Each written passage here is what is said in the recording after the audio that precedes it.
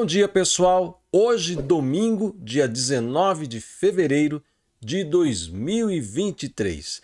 Domingo é o dia em que tradicionalmente nós trazemos aqui as previsões para a semana. Então nós vamos falar como que vai desenrolar o movimento, as dinâmicas dos astros ao longo da semana que se inicia, semana essa do carnaval, e nós já falamos, já adiantamos aqui em outros vídeos que o clima está bastante pesado, não só o clima em termos da meteorologia, a região sudeste está aqui debaixo de muita chuva, então tem lugares aí que já, este, já tem alerta. O próprio Instituto de Meteorologia já lançou um alerta aí vermelho para a região ali da Baixada Santista, litoral do, de São Paulo. Então a questão meteorológica está complicada, porque isso sempre traz riscos de desabamentos, de cair barreiras, de alagamentos, e enfim, essas coisas todas que nós já conhecemos. Mas também temos o clima pesado do campo astral mesmo, né? Nós temos várias ativações e vamos ter amanhã uma lua nova bastante significativa e que eu fiz um vídeo aqui já há três dias atrás uh, tratando das energias dessa lua nova. E eu fiz uma capa para o vídeo onde eu coloquei pessoas em fuga. Né? Inclusive o título do, do, do vídeo, o subtítulo, era Terror e Fuga Desesperada. Né? E aconteceu um fenômeno ontem, né? uma situação ontem uh, bastante uh, complicada. Quem acompanhou a minha live fiz uma live surpresa ontem à tarde, a live do monastério para as pessoas que estão em casa, naquele sábado de carnaval, sem ter o que fazer, e vamos lá fazer um bate-papo. A gente fez um bate-papo ontem, no momento em que estava acontecendo uma situação numa zona comercial de Paris, num shopping, né, em que pessoas saíram correndo desesperadas achando que estava tendo algum tiroteio, algum massacre, algum atentado terrorista, mas foi uma quantidade enorme de pessoas correndo, fugindo de dentro do shopping center, uma cena bastante assustadora e no, em princípio ficaram aí notícias desencontradas. O que foi dito é que um senhor se suicidou e pulou de cima lá do, do, da parte mais alta do shopping. Isso gerou um estampido com a queda que as pessoas acharam que era tiro. Outros, ao ver o cara caindo, achou que ele tinha sido alvejado por tiro que tinha alguém atirando dentro do shopping. Então, nessa hora, gente, a gente vê como que as pessoas estão engatilhadas para o pânico, né? Ah, vem as imagens mais terríveis à mente e a pessoa reage, sai correndo mesmo, larga o pacote de compra, né? E, e vai embora. Então, em princípio, ficou aquela coisa: era um atentado terrorista, não era um atentado terrorista. Então, saiu depois notícia de que eh, um homem em surto tinha esfaqueado seis pessoas e matado três, eh, que era um ataque xenófobo. Depois isso foi desmentido. Bom, por hora a versão que continua é do suicídio de um senhor lá de 69 anos que se jogou no shopping e gerou essa situação toda. Se foi alguma outra coisa estão acobertando, a gente vai saber. E é bom entender até essa, essa situação, porque o subtítulo que eu coloquei neste vídeo, para estas previsões semanais, fala justamente sobre o escondido e o perdido sendo encontrado. Então, essa semana é uma semana de muitos achados, achados arqueológicos, achados de falcatruas, né? coisas reveladoras, coisas que vão surgir. Então, tudo aquilo que foi coberto com a terrinha do gato, né? o cocô pode aí surgir, né? Pode complicar muita gente, não só da política, mas muita gente da área religiosa e muita gente de popstar aí da parte do show business, né? Então, coisas podem surgir essa semana que podem uh, abalar a reputação e a crença também e a idolatria, a mitomania que as pessoas têm com as outras aí, né? Então, uh, o problema é que, como aqui no Brasil a mídia brasileira está totalmente focada no carnaval. Então, algumas notícias que estão ocorrendo, como esta, por exemplo, que deu em Paris, ela teve quase nenhuma repercussão aqui no Brasil. Ninguém praticamente falou disso. Né? E mesmo a imprensa francesa também restringiu. Então, me parece que há uma coisa de segurar algumas informações para o público. Não sei por quê. Se é um cuidado em função do gatilho ativado para o pânico que está nas pessoas, até em função desse momento de pré-guerra que nós estamos lá. Pré-guerra, porque a guerra já está acontecendo faz tempo, né? mas da pré-escalada de uma guerra já em andamento, que está na Europa. Então a situação está bastante tensa, está bastante complicada. Nós vamos dar uma olhada como é que estão os astros nesta semana. Acompanha aqui comigo. Então, hoje, domingo, a Lua está no signo de Aquário, tá? Ela está transitando por Aquário. Ela acabou e está terminando, vamos dizer assim, de fazer uma quadratura com Urano, o que traz sempre episódios de instabilidade, de reviravolta, de situações uh, bastante complicadas. E vamos dizer assim que existe uma relação interessante nesse aspecto da Lua, porque a Lua está no signo de domicílio de Urano. Então, de uma certa forma, quando Urano olha para a Lua, sente nela uma familiaridade, porque ela está no terreno uraniano. Porém, Urano está no signo de touro, né? E o signo de touro dá queda para Urano. Então ele está meio que desvalido aí, né? E a Lua entrando no seu domicílio, mesmo fazendo uma quadratura com ele, dá força para esse Urano. Dá força no sentido dele revigorar um pouco e encontrar, por meio da Lua, a expressão da sua natureza que está meio em queda ali no signo de, de touro. Então, isso traz a perspectiva das energias uranianas de reviravolta, de uh, quebra de paradigmas, de situações, às vezes, também de acidentes que acontecem, principalmente envolvendo acidentes aéreos e questões atmosféricas pesadas que podem acontecer. Então, essa é a outra coisa. E aí, durante o dia, a Lua vai continuar o seu percurso e vai se encontrar aqui com Saturno. Né? Ela se encontra com Saturno e ativar aqui vai mexer com as autoridades, com as estruturas de governo, com todas as questões relativas a também a geopolítica, ao mundo geopolítico. Então nós poderemos ter alguma decisão importante em pleno domingo, né? alguma coisa que venha a destacar essa questão uh, governamental ou no Brasil ou no mundo aí, né? E também Vênus vai fazer um sextil com Plutão, né? Então aqui Vênus a 29 graus, grau crítico, sextil com Plutão a 29 graus. Embora seja um sextil, uma energia positiva, o grau 29 dá uma certa dramaticidade, né? E nós podemos ter uma união entre as forças destrutivas de Plutão com as forças telúricas, né? Afinal de contas, Vênus rege touro, signo de terra, né? e está no finalzinho de peixes, que é signo de água. Então, água e terra juntas pode promover, aí vamos supor, avalanches, enxurradas, desabamentos, desmoronamentos, que trazem mortes, que trazem destruição. Então, essa é a situação neste domingo, principalmente com tanta chuva acontecendo. Indo aqui para o dia 20, que é o dia da lua nova. Né?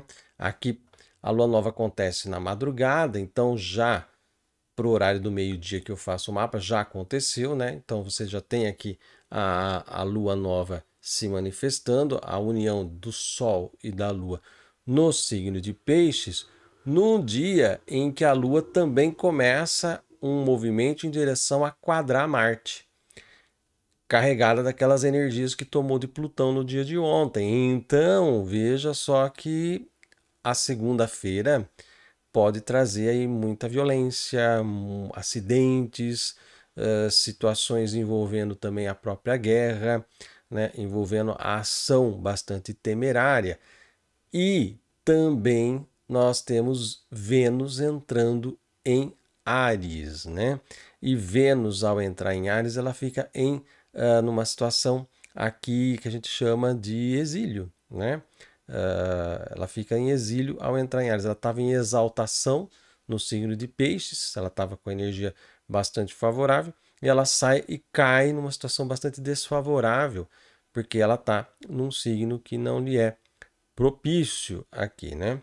Então, a energia de Vênus fica atrapalhada, energia que está ligada diretamente não só a terra, né, as coisas do mundo material, da economia, do trabalho, né? Poderemos ter alguma notícia econômica desagradável já em plena segunda-feira de carnaval, embora os mercados estejam aí dormentes, né? Mas podemos ter alguma coisa nesse sentido. E também a própria questão da guerra, já, já que Vênus é também regente de Libra, dos acordos internacionais, né? Da busca de uh, regras para governar o mundo, das parcerias e também a casa dos inimigos declarados, representando a casa 7, que é Libra. Né? Ela entrando aqui em Marte, nós podemos ter realmente uma segunda-feira bélica, tá? uma energia com uma lua nova, trazendo essa energia do mar, que eu já falei para vocês, que pode ser que o estupim da nova escalada ou da guerra da Ucrânia ou da situação de Taiwan envolva o mar. Nós tivemos aí mísseis balísticos da Coreia do Norte em direção ali ao mar do Japão, né? Então temos situações em andamento que são bastante perigosas, tá?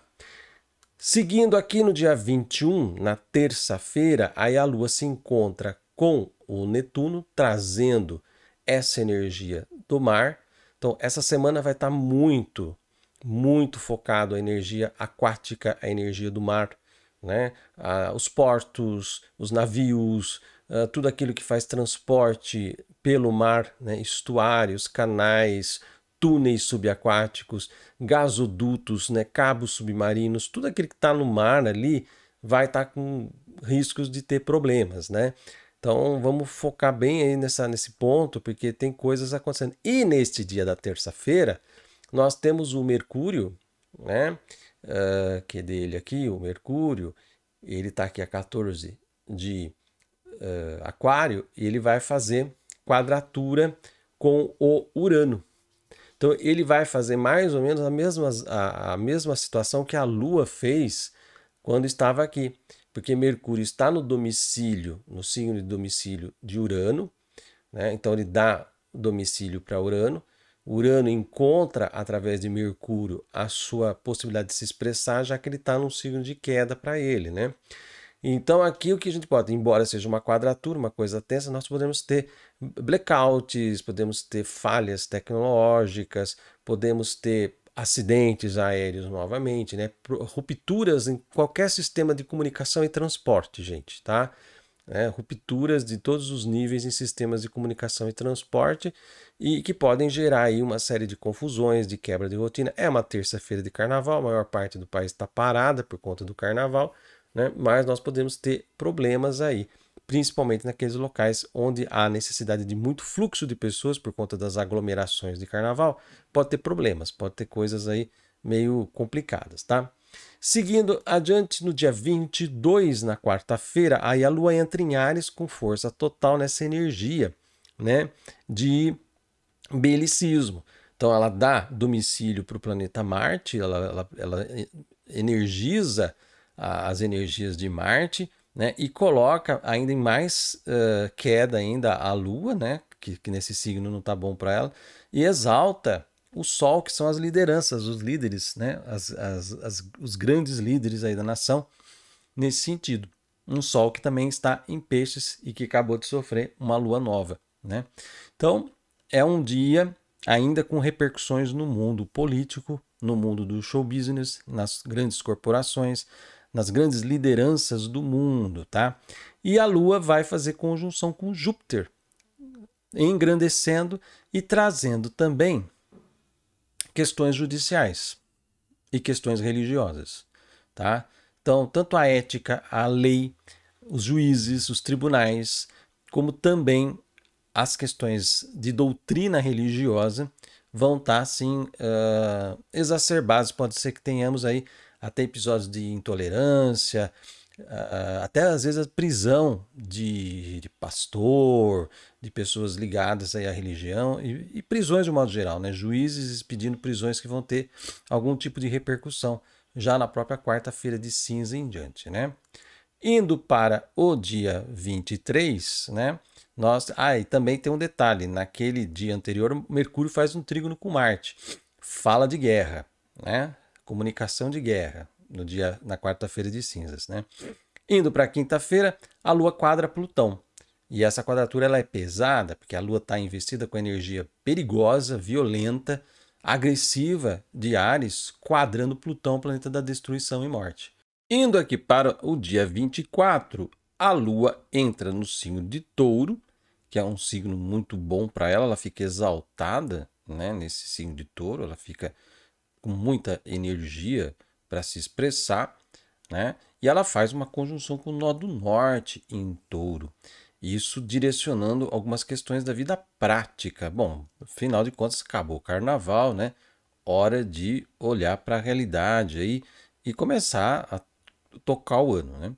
Então, é um momento de olhar para as coisas reais, para as coisas práticas do dia a dia, né? Esse momento da lua em touro. Ela quadra, ao entrar, ela vai quadrar a Lilith, então ela pode trazer algum episódio infeliz aí para alguma personalidade, principalmente personalidades que são um pouco mais arrojadas, um pouco mais despojadas, personalidades que podem ter sua vida exposta por ter uh, pensamentos diferentes, condutas diferentes do que manda a moral e os bons costumes, entre aspas, né? Dessa mundo hipócrita que a gente vive. Então nós podemos ter algum tipo de uh, cultura de cancelamento aí por conta de coisas uh, relativas a julgamentos morais, né? Então essa situação pode ocorrer nessa sexta-feira, dia 24, e indo para o sábado, dia 25, a Lua ainda em touro se encontra com Urano né? Aí os dois estão, a Lua está exaltada, Urano está em queda. Então aqui há no sentido de um está caindo e a Lua puxa, segura na mão de Urano, né? E ela vai fazer esse movimento no sentido de repente de trazer aí a necessidade de uma ação prática, de uma ação uh, bastante obstinada bastante uh, focada em resultados objetivos para segurar uma onda de instabilidade. Então, essa situação toda, só que a Lua também é um, um, um corpo uh, celeste instável, né? Ela passa por quatro fases, né? Ela tem essa situação toda. Ela já vai estar tá se preparando para fazer uma Lua crescente mais para frente, que vai acontecer uh, mais no, no futuro, né? dali alguns dias. Então, essa situação toda pode mostrar algum tipo de instabilidade no mundo das coisas terrenas aqui, das coisas sólidas da Terra, né? E isso pode fazer com que uh, tenha que haver uma ação direta em cima de algo que vai estar tá despedaçando, né? Em, em, cima de algo que vai estar tá muito instável, muito complicado. Então, as energias são não são as energias mais catastróficas assim possíveis. Nós já tivemos mapas bem piores aí em, em semanas anteriores, né? Mas a energia não está boa. É uma energia para tomar muito cuidado, tá? E o tom pisciano, por conta dessa quantidade de a gente vai ter uma lua nova em peixes e a lua também vai ficar fazendo aspectos aqui, né? E vai fazer um aspecto com Netuno principalmente na terça-feira. Então, o início da semana vai ter muito esse tom pisciano. Depois nós vamos para energia de Ares a partir da quarta-feira, que tende mais para os conflitos, para as complicações aí no campo, inclusive da guerra. Esse tom pisciano do início da semana, ele pode trazer aquilo que eu coloquei no subtítulo, né, de coisas escondidas, coisas perdidas, coisas que ficaram jogadas à margem, que foram jogadas para o bastidor, elas virem à tona, serem colocadas à exposição. Coisas positivas e coisas ruins, né? Então você pode ser desde escândalos envolvendo as pessoas, até, por exemplo, achados arqueológicos, pessoas desaparecidas, né? coisas que desapareceram e que aparecem de repente e que isso pode trazer algum tipo de comoção, algum tipo de descoberta, algum tipo de revelação, né? Peixe está muito relacionado ao cristianismo, então as religiões cristãs, e especialmente o, o, a sede maior ali, o Vaticano, e também a gente se esquece de falar que existe todo um, um campo da, da igreja ortodoxa com seus patriarcas, então a gente pode ter movimentações acontecendo nesse período envolvendo aí as denominações cristãs por conta dessa energia pisciana. Depois nós entramos nessa energia mais ariana, mais combativa, mais perigosa, mais agressiva, né? principalmente com aquele aspecto que Mercúrio vai fazer na quarta-feira, que pode ser a questão de uma fala mais agressiva, mais contundente. Isso pode ferver as relações internacionais e principalmente os campos de guerra. Temos situações já em andamento muito sérias na Ucrânia. A Síria, a coisa está pegando fogo por lá nos últimos dias também, né?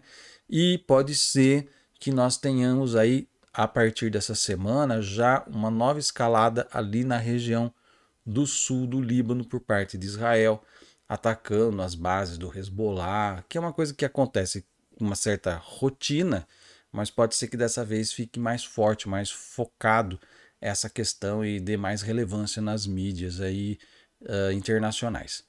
Bom, gente, é isso, né? Muita chuva, muito para quem gosta, né? Como no meu caso, nesses dias eu gosto do meu recolhimento, peixes ajuda isso, né? A você ficar mais com você mesmo, né? Meditar, fazer leituras, né? E quem está aí na muvuca do carnaval, todo cuidado é pouco, né? Sempre fique com o olho na rota de fuga para qualquer coisa que possa acontecer, né? Vocês viram o pânico disparado em Paris por uma situação que ainda não está muito bem explicada. A mídia selou que foi um homem que se suicidou, então ficou por aí. Mas houve é, outras versões circularam aí que sugeriam um possível atentado terrorista.